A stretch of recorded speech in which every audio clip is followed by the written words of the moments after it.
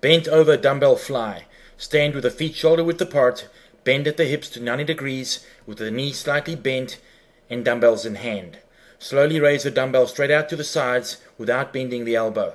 Maintain knee, hip, and body position throughout the movement.